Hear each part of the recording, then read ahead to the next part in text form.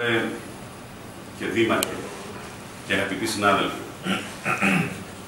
αυτό το οποίο κάνει σήμερα η πόλη της Καβάλας, διαστόματος της Δημάρχου και εύχομαι διαστόματος και ψήφου όλων μας εδώ στο Δημοτικό Συμβούλιο, έπρεπε να είχε περαιωθεί εδώ και πολύ καιρό. Κλείνουμε σήμερα ένα κύκλο και αποδίδουμε έναν οφειλόμενο τίτλο τιμής σε καβαλιώτες, σε συμπολίτες μας, οι οποίοι ήταν γέννημα και θρέμα αυτού του τόπου και έτσι αυτούς αλλά και άλλους τους θυμάμαι όπως και πρέπει πάντοτε να θυμάμαι τους ανθρώπους εκείνους που μαρτύρησαν για την πίστη τους, για την ιδεολογία τους, για τα πιστεύω τους, για κάθε τι το οποίο απέναντι σε, στον ναζισμό στάθηκε και έφερε τον καινούριο ανθρωπισμό μετά τη λύση του Δευτέρου Παγκοσμίου Πολέμου.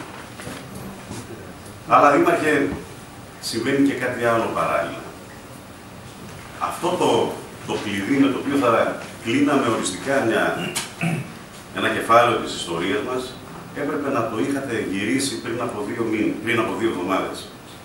Καταφέρνετε μερικές φορές να χαλάτε τις εντυπώσεις και σε βάρος σας, Δήμαρχε. Είστε πολλές φορές η Δήμητρα και το αντίθετό της. Σήμερα βλέπω τη Δήμητρα που όλοι θέλουμε. Μια Δήμαρχο που πραγματικά θέλουμε να την περιβάλλουμε όλοι μας με την εμπιστοσύνη μας και με τη βοήθειά μας. Αλλά χωρίς να λέμε οποιοδήποτε ψημίθιο ή χωρίς περιφράσεις, εκείνο το οποίο συνέβη πριν από λίγες μέρες ήταν μια τεράστια ζημιά για την πόλη μας. Πολύ σύντομα, επειδή δεν θέλω να αμαυρώσω τη σημερινή πάρα πολύ σημαντική και σημαντική μέρα.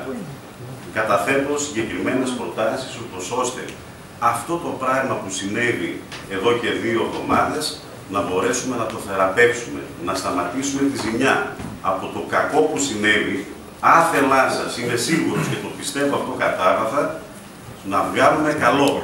Να βγάλουμε καλό, αγαπητοί συνάδελφοι, γιατί πραγματικά αυτό το οποίο έπαθε η πόλη μας μπορούμε να το κερδίσουμε σε πολλαπλάσιο βαθμό. Τι μπορούμε να κάνουμε πολύ; Σύντομα και συνοπτικά και εύχομαι και γρήγορα να ξαναέχουμε ε, συζήτηση, όχι κατά ανάγκη εδώ πέρα, αλλά σε επίπεδο κορυφής ανάμεσα στις παρατάξεις μέσω των εκπροσώπων μας σε κάποια σύσκεψη που θα μπορούσε να γίνει.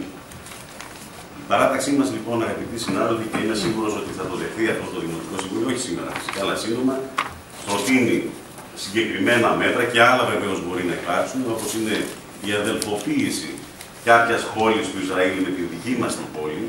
Μέχρι σήμερα είμαστε πολύ ωφελημένοι από την αδελφοποίησή μας με την Ιρεβέρη. Πολύ αδελφωμένοι με τις αδελφοποιήσεις που έχουμε κάνει με τα μνημόνια συνεργασίας, καλύτερα στο πω καλύτερα, και όχι με αδελφοποιήσεις, με την Ερεδεστό και τη Σαμσούντα, αλλά και την συνεργασία που έχουμε αναπτύξει με τις τουρκικές και τις άλλες πόλεις στα παράλια του έξινου πόντου. Να ζητήσουμε, Δήμαρχε, από το ΤΕΗ, το οποίο μάλιστα σήμερα έχουμε για ένα θέμα για εμβάθυνση της συνεργασίας του Δήμου με το ΤΕΗ μας, να ζητήσουμε από το ΤΕΗ να συνεργαστεί ακόμα περισσότερο και ακόμα καλύτερα με κάποιο από τα πανεπιστήμια τα οποία είναι κορυφαία στον κόσμο, όπως είναι το Technion University της Χάιφας, το οποίο μάλιστα συμμετέχει σε κάποιο από τα ευρωπαϊκά προγράμματα του Δήμου μας ως επικεφαλής εταίρος. Να λοιπόν που έχουμε αναπτύξει από παλιά πολύπλευρες σχέσεις με αυτόν τον χώρο και είναι ευκαιρία να το αναδείξουμε αυτό ξεχνώντας, παραβλέποντας αυτά που συνέβησαν πριν από λίγες μέρες. Στο Μουσείο Καπνού. Στο Μουσείο Καπνού να βάλουμε μια ειδική γωνία για αυτό το κομμάτι του ελληνισμού που πέρασε και χάθηκε ανεπιστρεπτή από την πόλη μας. Γιατί κακά τα ψέματα, ο, προ, ο προ-προηγούμενος δήμαρχος, ο κύριος ο αείμνηστος Αθανασιάδης, έχει μαζεύσει, έχει μαζεύσει αρκετό υλικό. Υπάρχει στο Λαβραφικό Μουσείο, ε, υπάρχουν ενθυμήματα και σπαράγματα μνήμης του καβαλιώτικου ε, Ιουδαϊσμού και κατά συνέπεια αυτά πρέπει να τα αναδείξουμε και να τα ε, προβάλλουμε μέσα στο μνημείο αυτό που είναι μνημείο καθαρά της πόλης. Και τέλος, κάτι που είναι ίσως πιο μεγάλο, γι' αυτό το άφησα στο τέλος. Καιρός είναι, αγαπητοί συνάδελφοι, να βελτιώσουμε ακόμα περισσότερο την εικόνα του κέντρου της πόλης μας. και επειδή με χαρά βλέπω ότι προχωράει η διοίκηση την ένταξη της ε, αναμόρφωσης, της ανάπλασης της πλατείας του Καπνεριάτη, ίσως θα ήταν σκόπιμο να μελετήσουμε από τώρα έγκαιρα το μέλλον της Ροδόπης.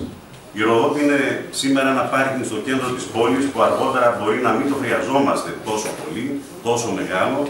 Λίγη η μίσθωση το 2019, μπορούμε λοιπόν από τώρα να σχεδιάσουμε μια πλατεία ή ένα πάρκο των λαών, όπου εκεί μπορεί να γίνει ένα μνημείο αφιερωμένο σε όλους τους Έλληνες κάθε εθνικότητας και κάθε θρησκεύματος που πέρασαν από την πόλη μας και χάθηκαν από κάποιον ξένο δυνάστη.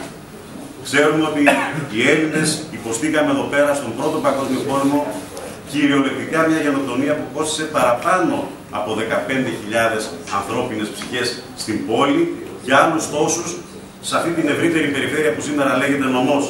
Αυτά είναι καταγεγραμμένα από τον Νικόλα Ροδομέτοφ στο βιβλίο του που είναι η έκθεση της κοινωνίας των εθνών που συντάχθηκε τη δεκαετία του 20, του 1920. Άρα λοιπόν, από τώρα, αγαπητοί συνάδελφοι, να πάρουμε εκείνα τα θαραλέα μέτρα που θα κάνουν την καβάλα μας παράλληλα με το, παράλληλα με το ότι θα της ξαναδώσουν το όνομα της ανεκτικής και φιλελεύθερης και καθόλου μισαλόδοξης πόλης, αλλά θα την κάνουν ξανά πόλο επισκεψιμότητας από όλα τα πέρατα του κόσμου. Αυτά λοιπόν